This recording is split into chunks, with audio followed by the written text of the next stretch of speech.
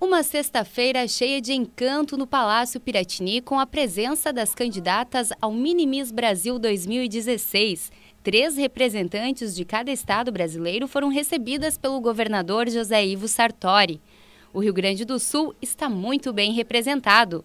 Lara é a candidata na categoria Baby, Laura na Mini e Bruna na Infantil.